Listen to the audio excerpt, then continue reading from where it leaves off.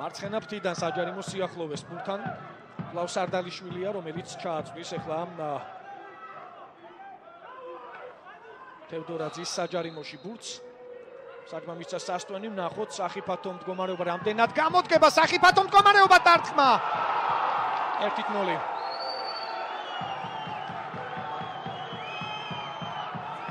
თორნიკე კირკიტაძე გახსნა დღევანდელ შეხვედრაში ანგარიში მე ვახსენებდი მატჩის დებიუტში. არაერთხელ თქვი